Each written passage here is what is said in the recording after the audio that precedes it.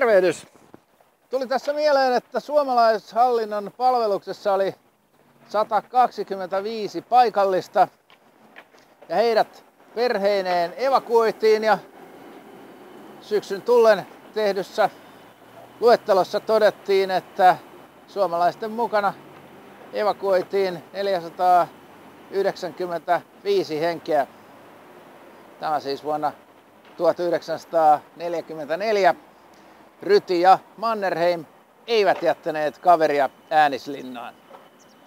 Nyt kun Kabulin kaukopartiomiehet ovat palanneet kotimaahan, on pikkuhiljaa varmaan aika tehdä tästäkin Savotasta jonkunlaista loppuarviota, mutta kun tässä Rytäkän keskellä on nyt kyselty, että kuka ja miten oikein teki päätöksen siitä, että suomalaisjoukot aikoinaan lähtivät Afganistaniin, niin se on kyllä harvinaisen selvästi ja kirkkaasti dokumentoitu. Nimittäin 2002 tammikuussa eduskunta kutsuttiin kesken istuntotauon koolle käsittelemään Afganistanin joukon lähtöä. Sieltä ne kyllä löytyvät pöytäkirjasta ihan kaikki puheet, mitä siitä silloin käytettiin, lukemaan vaan, jos kummastuttaa. Ja aivan samoin eduskunta kutsuttiin koolle nyt, kun tätä Kabulin iskoryhmää pantiin kiireen kaupalla kasaan. Se oli hyvä osoitus siitä, että tiukan paikan tullen kyllä niitä päätöksiä ja ratkaisuja syntyy, vaikka eduskunta olisi istuntotauollakin. Sen sijaan hallituksella ei näytä olevan mitään erityisempää kiirettä kahden metrin turvaväli päätöksen korjaamiseen, kun tämä kesäteatteri on taas tälläkin viikolla jatkunut ja alkaa olla suorastaan koomista seurata sitä, miten poliitikot yrittävät saada virkamiehet taivuttelemaan itse säätämäänsä lakia toiseen asentoon.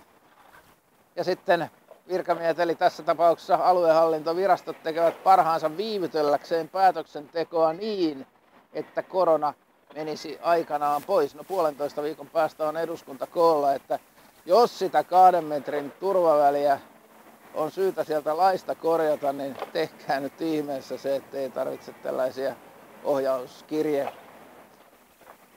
virityksiä enää kovin montaa viikkoa katsella, kun avit joutuvat sitten huomauttamaan, että ohjauskirjeellä ei voi kyllä ylittää sitä hallituksen eduskunnassa keväällä säädättämää lakia ja niin edelleen. Mutta toivotaan tietysti, että korona väistyisi nyt. Ainakin muutaman päivän on näyttänyt taas ihan lupaavalta, että siihen suuntaan toivon mukaan ollaan menossa.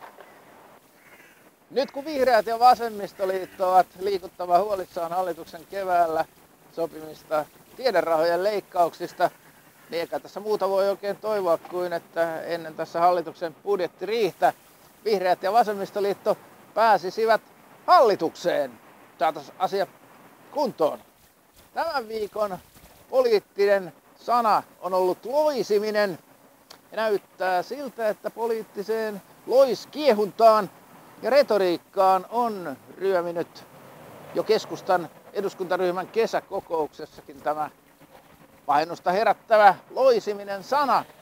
Vaikka luulisi nyt, että maalaisliiton perilliset osaisivat maatalousyhteiskunnasta etsiä parempiakin ja enemmän poliittisesti korrekteja synonyymejä loiselle. Nimittäin siellä on käyttökelpoisia sanoja muun muassa koturi, joutolainen ja kesti, joista varsinkin jälkimmäinen kuulostaa jo suurin piirtein arvovieraalta. No, sääennustuksissa on kuultu, että taas on satanut kuukauden sademäärä yhdessä päivässä ja jos tämä, vaikka elokuuta nyt paljon ole enää vielä jäljellä, niin jos tämä jatkuu vielä syyskuun puolella, niin jotakin muuttujaa on kyllä ilmeisesti pakko korjata, koska ei nyt vaan voi olla niin, että kuukauden sademäärä tulee kerran päivässä joka viikko. Pysykää turvassa.